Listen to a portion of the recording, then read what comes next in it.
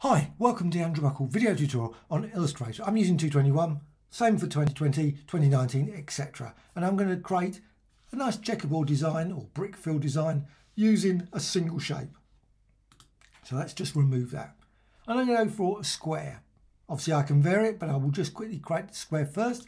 And I'm just going to quickly create this now, just make that size there. But I'm going to go over here, I'm going to set it to 29 and 29. This is in the properties panel, just makes it nice and easy, 29, 29. So that's 58, obviously times two. So what you can do then, you can go to effects. Oh, before I do that, window, appearance and properties. They're the key panels here. So appearance there and properties. So effect, distort and transform. So transform there. And what I want is one copy. That's the first thing I do. So first copy, one copy, and I'm just going to put in now 29 and 29 so it just shifts it across and then down.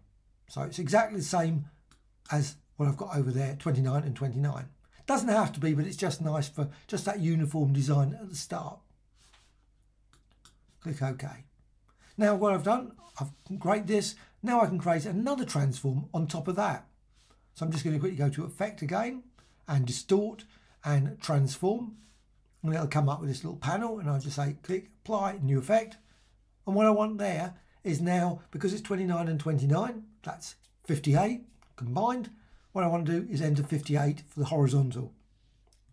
So 58 there. But of course what I want is the number of copies. So I'm going to go for uh, 20 copies say. Doesn't matter particularly what number but say 20 copies. You can always vary it of course. Still editable at any point in the appearance panel click OK.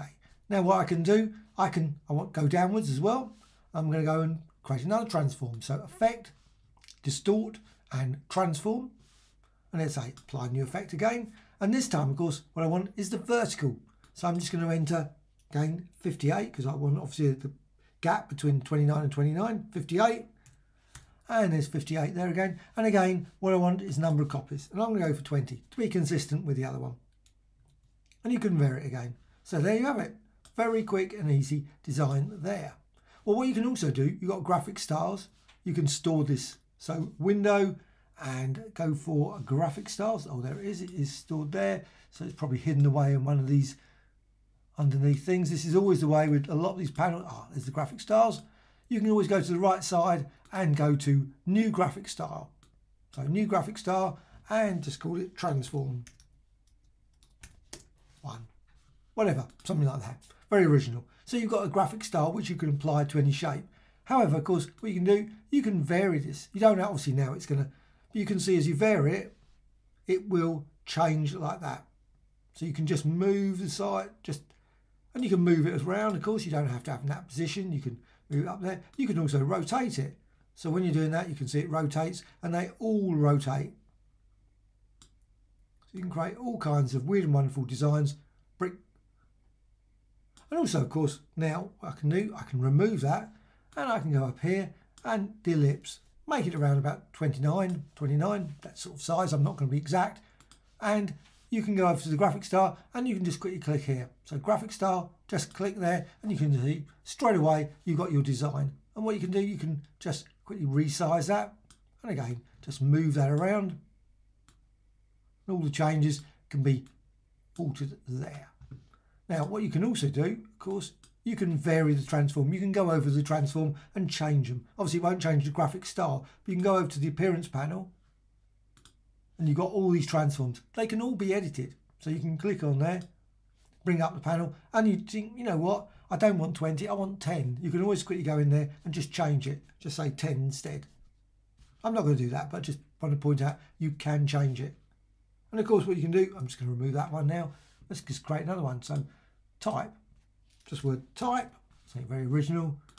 And what I can do, I can click on there. And you can see it's a bit slower because obviously type's a bit more complicated. And you can see it's just a bit slower but you still you can rotate it around.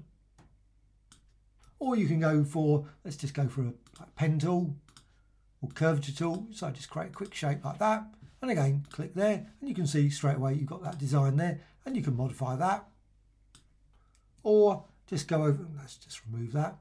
Curvature tool, it's another one you could use, very quick and easy and create all kinds of different shapes. With that selected, just click there and you can see the design there.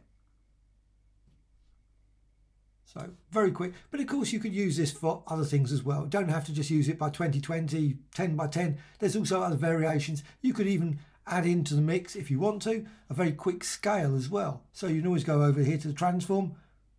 Now which one's which? So you've got 29, let's look that copy there, just go there. Say going across, I'm assuming this is the way, yeah, it's going across.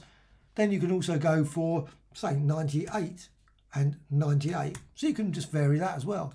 90, 90. And you can create some interesting sort of variations of the design there. And also you can of course add into the mix if you want to, a nice bit of angle as well. Well, hope you found this tutorial of interest. Always adding new tutorials about Illustrator, Photoshop, Affinity Photo, Affinity Designer and all those. Also, any questions, any sort of issues, anything I went too fast about, didn't explain well enough, please let me know in the comments. Also, a dislike or like, always appreciated. Thank you much.